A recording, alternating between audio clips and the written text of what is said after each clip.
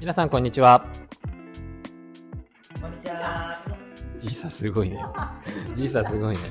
えっと、シュルールで店長してます渡辺です。えっと、今日はなんかたまたま、えっと、リーベルメンバーの方がシュルール来てくれたので、あの、あんまりこういう風に集まる機会っていうのは少ないんで、あの、ついでと言ってはなんなんですけど、ちょっとあの皆さんに質問をちょっとぶつけてみて、どういう感じで働いてるのかっていうのを、あの、お客様とか見てる人に伝わればいいかなと思いますので、ちょっとやっていきたいと思います。シュルールの鈴木さん。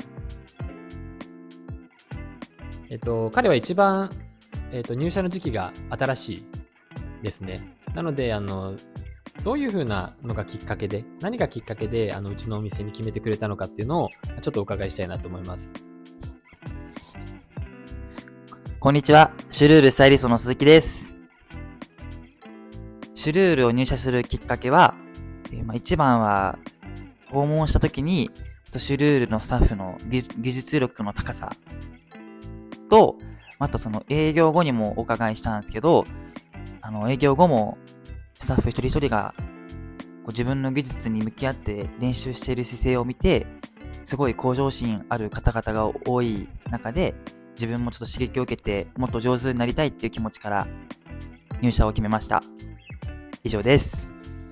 今の僕と鈴木を筆頭にシュルールではあの美髪をあの量産しまくってますのであの美髪になりたい方はあの髪の変態がいますのであのぜひ来ていただければと思います。ありがとうございます鈴木さん。ともこさん。あ開業からあのオーナーの神崎と一緒にあの勤務が長いんですけれど、えっとこの店で働き続けてる理由っていうのを聞きたいなと思います。はい。じゃあよろしくお願いします。リーベルでトップスタイリストをさせていただいてます。佐藤智子です。よろしくお願いします。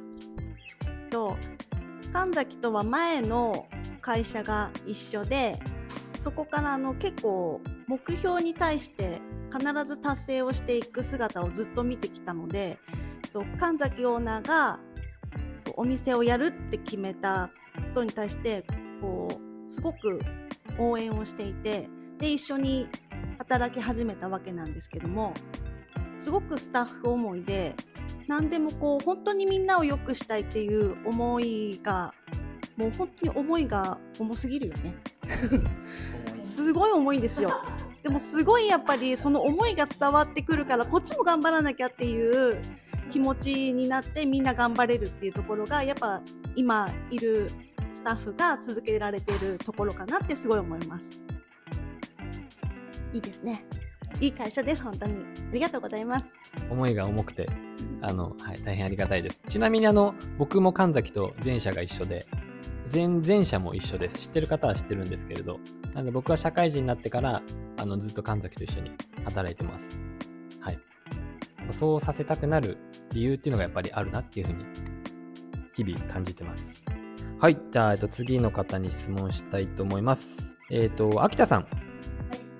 えっ、と、秋田さんは、えっ、と、ママ美容師で、あの、今、時短社員として働いてるんですけれど、あの、まあ、仕事で大切にしてることって何かなっていうところを、あの、ぜひ、ママ美容師目線でお伺いしたいなと思います。リーベルのスタイリストの秋田です。よろしくお願いします。硬いですよね。はい。